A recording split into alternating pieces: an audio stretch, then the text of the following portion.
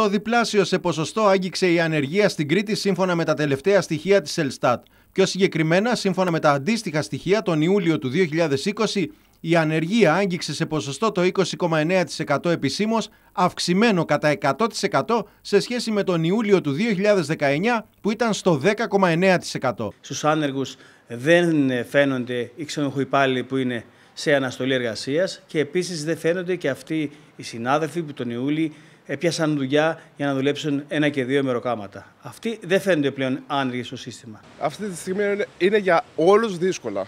Πολύ δύσκολα. Πολύ περισσότερο για ένα νέο άνθρωπο είναι εύκολο να βρει δουλειά σήμερα; Όχι. Στις μέρες μας όχι. Είναι πολύ δύσκολο. Και συν την κατάσταση όλη αυτή που επικρατεί, ε, και εγώ νέος είμαι, αυτή τη στιγμή και εγώ ψάχνουμε για δουλειά, δυστυχώς όχι, δεν υπάρχει. Αυτό οφείλεται στο ότι κατά το συγκεκριμένο μήνα και πριν οι επιχειρήσεις εστίασης ήταν κλειστές. Κάτι το οποίο, όπως φαίνεται, επιδίνωσε τον αντίστοιχο δείκτη με δεδομένο ότι η Κρήτη στηρίζεται κατά μεγάλο ποσοστό στον τουρισμό. Η ανεργία στα χανιά μας είναι πάρα πολύ μεγάλη από τα στατιστικά στοιχεία της Ελιστάτ. Δυστυχώς. Και βέβαια το χειμώνα αυτό που θα συμβεί, ε, μακάρι να βγω ψεύτιστα, αλλά θα τρομάξουν πολύ. Με την πείνα που θα πέσει και με τους άνεργους που θα είναι έξω από τον ΟΑΕΔ, που κάποιοι θα επιδοτηθούν και κάποιοι πάλι άλλοι δεν θα πάρουν τίποτα. Όλοι οι εργαζόμενοι σε αυτό το κομμάτι στηριζόμαστε.